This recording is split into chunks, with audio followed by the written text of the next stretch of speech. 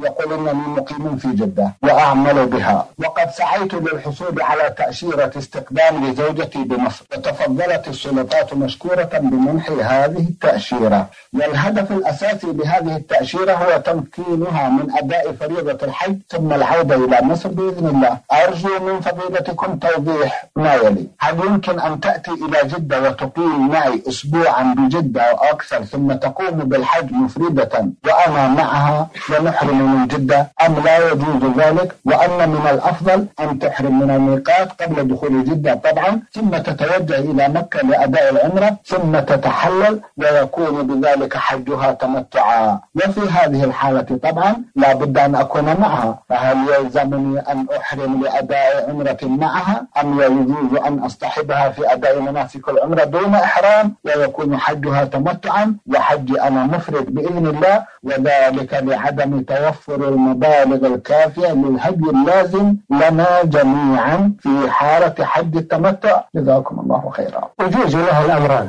ما شاء الله. الأمر الأول أن تقدم إلى جدة بدون إحرام تبقى في جدة فإذا جاء وقت الحج تذهب بها إلى الميقات التي مرت به في طريقها من مصر وهو مثلا الجحفة ترجع بها إلى الجحفة. إذا كانت جاءت عن طريق الطيران المصري ترجع بها إلى الجحفة. وتحرم منها لأن الجحفة هي ميقات أهل مصر وأهل المغرب وأهل الشام ومن جاء عن طريقها فتحرم من الجحفة. التي هي الآن يا شيخ هي الجحفة الآن اسمها الجحفة وقد عمل فيها آه، محلات للوضوء والاغتسال ونظمت للمحرمين في نفس الجحفة. في نفس الجحفة. الحمد لله. وإن أحرم من رابط طيب. فهذا يجزي عن رابط قبل الجحفة بقليل. طيب. إن أحرم من رابط أجزى هذا طيب وإن أحرم من الجحفة فهي الميقات الذي وقته رسول الله صلى الله عليه وسلم.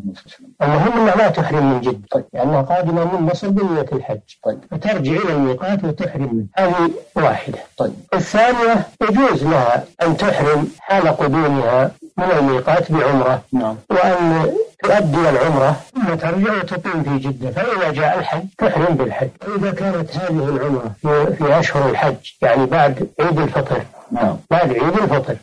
فإنها تكون متمتعة يكون عليها فدية فدية التمتع. طيب. هذا بالنسبة لها. طيب طيب. وأما أنت فيجوز أن تحرم معها بعمرة وتعتمر معها وتكون متمتعا مثلها. ويجوز أن أن تذهب معها وتحرم من الميقات وأنت لا تحرم. وإنما تحرم إذا جاء الحج. وتكون مفردا نعم.